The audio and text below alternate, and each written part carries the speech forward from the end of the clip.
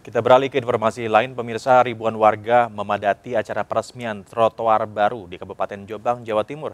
Akibatnya acara yang digelar Pemkap Jombang menimbulkan kerumunan massa. Minggu malam suasana Jalan Wahid Hashim Jombang, Jawa Timur dipadati ribuan warga. Warga tumpah ruah ke jalanan untuk menghadiri peresmian drainase dan trotoar baru oleh Bupati Jombang Munjidah Wahab. Akibatnya suasana Jalan Wahid Hashim ini pun menjadi penuh oleh warga layaknya pesta malam tahun baru. Tidak hanya menimbulkan kerumunan acara yang digelar Pemkap Jombang ini pun juga dihadiri warga yang tidak mengenakan masker. Pemkap Jombang mengaku sudah berusaha mengantisipasi untuk membatasi jumlah pengunjung. Namun karena dua tahun tidak ada perayaan apa pun, warga berbondong-bondong mendatangi acara. Setelah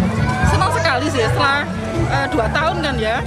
Mungkin masyarakat banyak yang antusias. Cuma uh, harusnya lebih diperketat lagi untuk uh, pemakaian maskernya juga ya. Untuk sosial distancingnya juga.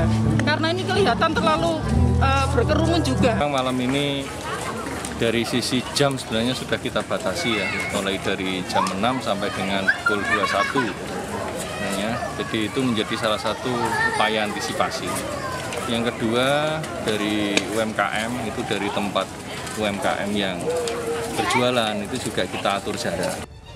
Warga dan pemerintah daerah diimbau tetap disiplin dan patuh protokol kesehatan untuk mencegah penyebaran COVID-19. Dari Jombang, Jawa Timur, Muhtar Bagus, iNews melaporkan.